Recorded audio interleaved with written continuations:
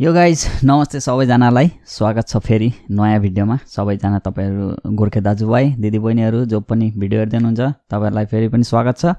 र आजको भिडियो चाहिँ क्रोसिया देशको बारेमा बनाउँदैछु। धेरैजनाले क्रोसियाको बारेमा अस्ति नै मैले क्रोसिया सेन्जेनमा पढ्दैछ भनेर पहिला बनाएको थिएँ अनि पढिसक्यो भनेर पनि अस्ति मैले बनाइसकेको थिएँ। क्रोसिया देशको बारेमा धेरैजनाले अहिले एप्लाई गर्दै हुनुहुँदो रहेछ।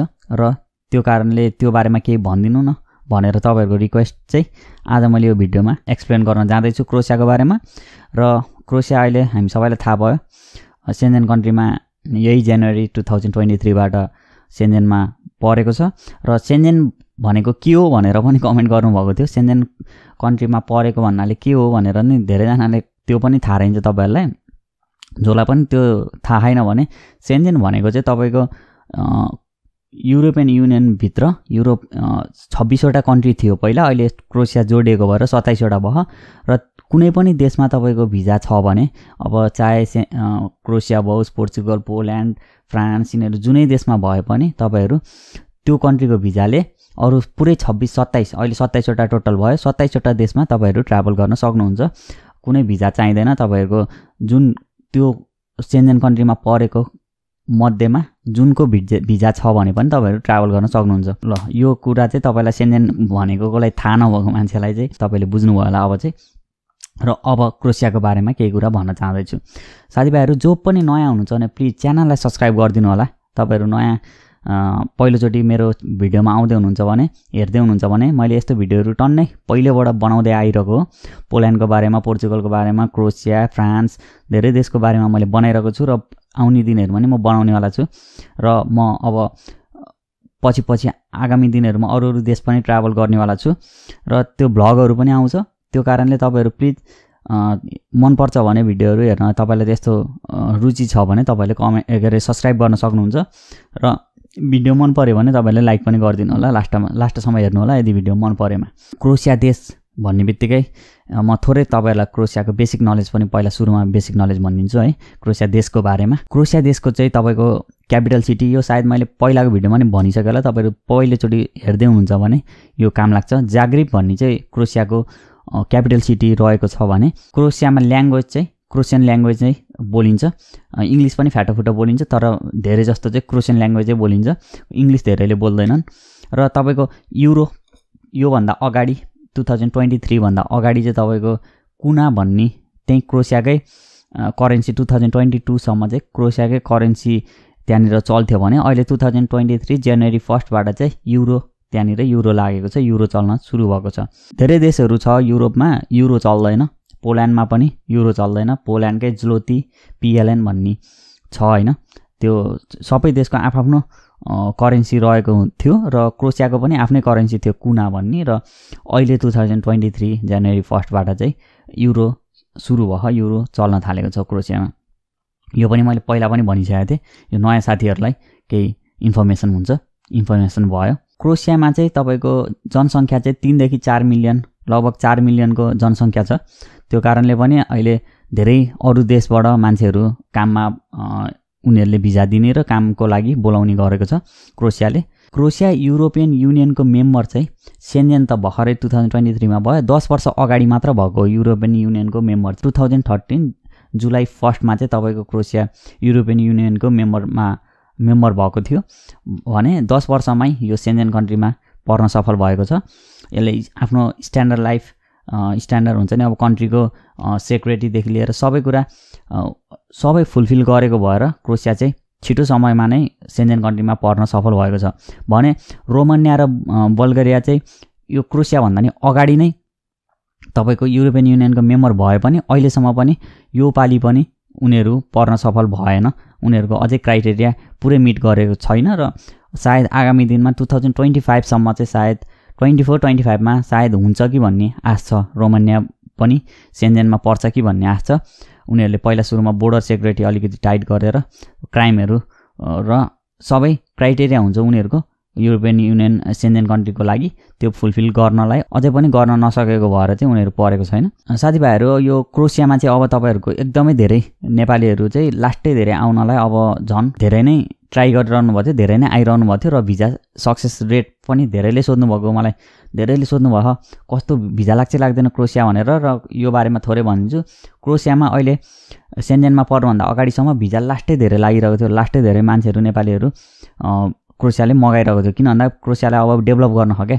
युरोपियन युनियन अरू कन्ट्रीहरू जत्तिकै ऊ पनि स्ट्यान्डर्ड मेन्टेन गर्नु छ र त्यसको डेभलप गर्नको लागि कामदार नै चाहिन्छ। कामदार एकदमै कम तिनदेखि चार मिलियन मात्र छ नि त त्यो कारणले गर्दाखेरि उनीहरूले बाहिरबाट मगाउनै पर्ने हुन्छ। र लास्टै धेरै सेन्जेनमा पर्नुभन्दा अगाडि खासै अन्तबाट नआए पनि नेपालबाट त लास्टै धेरै गयो नि त मान्छेहरू।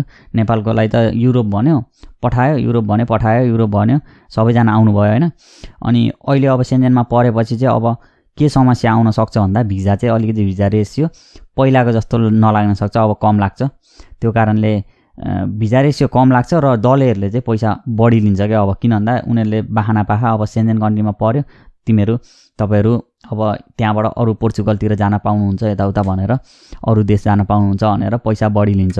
त्यो कारणले अब भिजा रेसियो अलिकति कम लाग्छ। सबैलाई अब विदेशी आउनु छ होइन। अब किन भन्दा नेपालमा रोजगार छैन। रोजगार भएको को विदेश आउन चाहन्थ्यो र रोजगार राम्रो अब स्यालेरी नै कमाइ नै छैन नेपालमा त्यो कारणले हो। र अब म तपाईँहरूलाई कमाइ चाहिँ कति हुन्छ त अब तपाईँहरू त्यत्रो अब अहिले लगभग दस एघार बाह्र लाख लिन थालेछ होइन क्रोसियाको बारेमा यति तिरेर आइयो भनेर मेरो भिडियोहरूमा कमेन्ट गर्नुहुन्छ दाजुभाइहरूले नेपाली दाजुभाइ दिदीबहिनीहरूले पनि। अनि अब कमाइ चाहिँ कति हुन्छ तपाईँले? त्यत्रो एघार बाह्र लाख रुपियाँ तिरेर यता आउनु क्रोसिया आउने अनि कमाइ चाहिँ कति एक्सपेक्ट गरेर आउनुहुन्छ त नि? त्यो कमाइ पनि कति छ स्यालेरी? त्यो पनि म तपाईँलाई भन्न जाँदैछु। स्यालेरी चाहिँ तपाईँको दुई हजार उन्नाइसदेखि दुई हजार तेइससम्मको म तपाईँलाई भन्न जाँदैछु। टु थाउजन्ड ट्वेन्टी टूसम्म चाहिँ क्रोसियन कुनामै आउँथ्यो। कुना भन्ने उनीहरूको करेन्सीमा आउँथ्यो। भने अहिले बल्ल अब युरो हो नि त। अब चाहिँ युरोमा बल्ल चल्नेवाला छ। टु थाउजन्ड नाइन्टिनमा चाहिँ तपाईँको स्यालेरी कति थियो भन्दा? थ्री थाउजन्ड कुना थियो। थ्री तिन हजार कुना थियो। र टु थाउजन्ड नाइन्टिनबाट two thousand ट्वेन्टीमा three thousand two hundred fifty कुना भयो। त्यहाँबाट टु थाउजन्ड ट्वेन्टीबाट ट्वेन्टी वानमा चाहिँ थर्टी फोर हन्ड्रेड कुना भयो। र टु थाउजन्ड ट्वेन्टी वानदेखि टु थाउजन्ड ट्वेन्टी टूमा आइपुग्दाखेरि three thousand seven hundred fifty कुना भयो।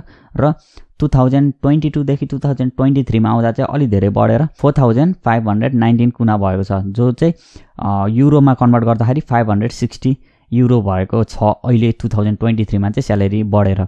भने टु थाउजन्ड ट्वेन्टी टूमा चाहिँ टु थाउजन्ड ट्वेन्टी टूमा चाहिँ स्यालेरी फाइभ हन्ड्रेड युरो थियो मिनिमम स्यालेरी र अहिले चाहिँ फाइभ हन्ड्रेड सिक्सटी भएको छ मिनिमम स्यालेरी है। यो अहिले मैले भनेको चाहिँ तपाईँको मिनिमम वेजेस हो यति चाहिँ तपाईँहरूको सबैको हुन्छ। यहाँभन्दा अप हुनसक्छ तर योभन्दा लो हुँदैन। तपाईँहरू आफै हिसाब गर्नु होला फेरि मैले यो फाइभ हन्ड्रेड सिक्सटी हुन्छ भन्दाखेरि योभन्दा बढी कमाउँदैन भनेर भन्न खोजेको होइन। योभन्दा बढी कमाउने मान्छेहरू नि हुनुहुन्छ। उहाँहरूको अब ओभर टाइम उहाँहरूको अब के अनुसारको छ कन्ट्र्याक्ट त्यो अनुसार हुन्छ के काम छ कुनै काममा धेरै कुनै काममा कम हुन्छ होइन। त्यो अनुसारले स्यालेरी हुन्छ तर यो मैले भनेको चाहिँ प्लिज यो बुझिदिनु होला कि यो भनेको मिनिमम स्यालेरी चाहिँ यति हुन्छ।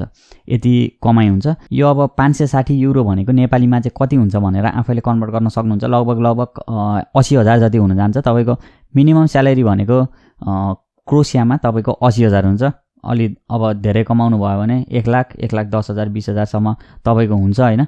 अब त्यति कमाउनुको लागि तपाईँले एघार लाख दस लाख तिरेर आउँदा तपाईँलाई के लाग्छ? त्यो आफैले विचार गरेर आउनु होला। मैले आउनु पनि भन्दिनँ नआउनु पनि भन्दिनँ। तपाईँको अब स्थिति कस्तो छ त्यो अनुसार हुन्छ। अब यदि तपाईँको ऋण नखोजिकन आउनु आउँदै हुनुहुन्छ भने तपाईँलाई केही फरक परेन। ल ऋण खोज्दैन आयो। उहाँ पनि काम छैन नेपालमा काम छैन भने आएर काम गऱ्यो अरे। अब अथवा त्यहाँबाट पोर्चुगल जानलाई पोर्चुगलतिर जानुभयो भने त्यो भन्ने कुरो छुट्टै कुरो हो होइन? तर तपाईँ अब ऋण काटेर त्यति कमाउनको लागि चाहिँ म त्यही सजेस्ट गर्छु तपाईँहरू आउनुभन्दा नआएकै ठिक छ भनेर भन्न चाहन्छु। र तपाईँको यही कमाइअनुसार तपाईँको स्टुडेन्टमा हुनुहुन्छ भने स्टुडेन्टबाट काम गर्दाखेरि चाहिँ तपाईँको घन्टाको कति पे हुन्छ भन्दाखेरि four point thirty eight euro चाहिँ घन्टाको पे गर्छ। स्टुडेन्ट हुनुहुन्छ भने टु थाउजन्ड ट्वेन्टी थ्रीमा है अहिले चाहिँ। यदि स्टुडेन्टबाट काम गर्दै हुनुहुन्छ भने चाहिँ तपाईँको पर आवरली घन्टाको त्यति पे हुनुपर्छ पे त्यति हुन्छ। कतिपय साथीहरूले चाहिँ मलाई के पनि सोध्नुभयो भने त्यहाँ क्रोसिया आएर धेरैजनालाई फ्रान्स आर्मी बन्नलाई एकदम इच्छा छ होइन? नेपालबाट अब लाउरे हुन नसके उता ब्रिटिसतिर ट्राई गऱ्यो यताउता अब फ्रान्समा के हुन्छ कि भनेर। फ्रान्स लाउरेको लागि धेरै नेपालीहरू आउनुहुन्छ पोल्यान्ड आउने पो अब धेरै जस्तो युरोप आउनेहरू एकचोटि फ्रान्स चाहिँ ट्राई गरौँ क्यारे गर्नु पऱ्यो भनेर धेरैले गर्नुहुन्छ धेरै जानुहुन्छ। अनि क्रोसियाबाट चाहिँ जान मिल्छ कि मिल्दैन भनेर पनि सोधिरहनु भएको थियो होइन? अब अहिले टु थाउजन्ड ट्वेन्टी थ्रीबाट चाहिँ तपाईँहरू क्रोसिया आउनुभयो भने आउँदै हुनुहुन्छ भने तपाईँहरू सजिलै तपाईँ फ्रान्स जान सक्नुहुन्छ। फ्रान्स गएर तपाईँले आर्मी भिड्न पनि सक्नुहुन्छ। किन भन्दा अब सेन्जेन भएपछि त्यही नै हो फाइदा। अब यो सेन्जेनको फाइदा के छ भन्दाखेरि यही ट्राभल गर्न सक्नुहुन्छ। तपाईँ अरू देशमा पनि मजाले आरामले जान सक्नुहुन्छ। अब यदि कोही फ्रान्स आर्मी देखाउन चाहनुहुन्छ भने तपाईँहरू अब क्रोसिया आउनुभयो भने अथवा क्रोसियामै हुनुहुन्छ भने पनि तपाईँहरू अब त्यहाँबाट तपाईँहरू टिकट काटेर बस अब ट्रेन अथवा प्लेन जेमा पनि तपाईँ आनन्दले फ्रिली जान सक्नुहुन्छ अब यो टु थाउजन्ड ट्वेन्टी थ्रीबाट यदि कोही फ्रान्सको बारेमा केही बुझ्न चाहनुहुन्छ भने मैले पहिला अस्ति नै एकचोटि फ्रान्सको बारेमा नै भिडियो बनाएको थिएँ त्यो पनि तपाईँले हेर्न सक्नुहुन्छ। मेरो च्यानलमा गएर त्यहाँनिर छ र मैले अरू अरू पनि देशको बारेमा पनि बनाएको छु। अब तपाईँहरूलाई अरू केही अरू यो क्रोसियाको बारेमा केही बुझ्न चाहनुहुन्छ भने कमेन्ट गर्न सक्नुहुन्छ। यदि धेरै मान्छेहरूले बुझ्न चाहनु भएको खण्डमा म फेरि पनि कुनै तपाईँहरूको तपाईँहरूको के छ के कुरा बुझ्न चाहनुहुन्छ त्यो बारेमा म लिएर आइहाल्ने छु अथवा कुनै अरू देशको बारेमा बुझ्न चाहनुहुन्छ भने पनि तपाईँहरू कमेन्ट गर्न सक्नुहुन्छ। कमेन्ट मैले रिप्लाई दिन नपाए पनि तपाईँहरूको कमेन्ट म बिस्तारै बिस्तारै यसरी भिडियोमै लिएर आउँछु यसरी अब कसैले फ्रान्सको बारेमा सोध्नुभयो कसैले पैसाको कति हुन्छ भनेर सोध्नुभयो कसैले भिजा रेसियो कस्तो छ भनेर सोध्नुभयो त्यो सबै मैले एकैचोटि अहिले यसरी बनाएर दिँदाखेरि चाहिँ धेरैजनालाई हेल्प हुन्छ र धेरैजनाको कुरा पनि एउ एउटै भिडियोमा ल्याउन सकिन्छ भनेर हो। र साथीभाइहरू यो भिडियो चाहिँ अब म यति नै यति नै बनाएँ आजको लागि। अब अर्कोचोटि फेरि भेटौँला। भन्दै यो भिडियोबाट म छुट्टिन चाहन्छु। यदि नयाँ हुनुहुन्छ भने प्लिज च्यानललाई सब्सक्राइब गरिदिनु होला। फेरि पनि भने मैले।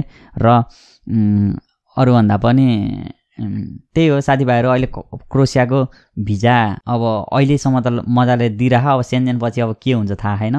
जो सबैजनाको भिजा लागोस् यदि एप्लाई गर्दै हुनुहुन्छ भने तपाईँहरू दलेबाट जोगिनु नठगिनु धेरै पैसा नतिर्नु धेरै पैसा तिरेर आउनुभन्दा अलिक कम पैसा तिरेर आउनु होला होइन? यही भन्न चाहन्छु साथीभाइहरू यो भिडियो यति नै भयो। Thank you so much see you in next video bye